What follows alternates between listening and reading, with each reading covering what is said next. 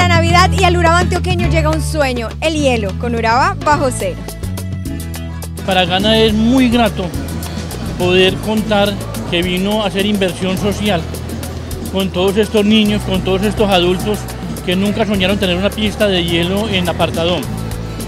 Gana hizo un esfuerzo grande por traer esta pista acá porque la inversión económica es bastante alta, pero la administración municipal también nos ha colaborado prestando los escenarios y aparte de eso, pagando los servicios públicos que consumen estos, equipos de 8 de la mañana y de lunes a jueves.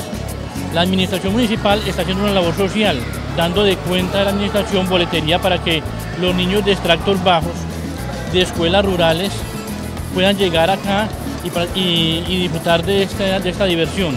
Y Gana tiene el horario de 2 de la tarde a 10 de la noche.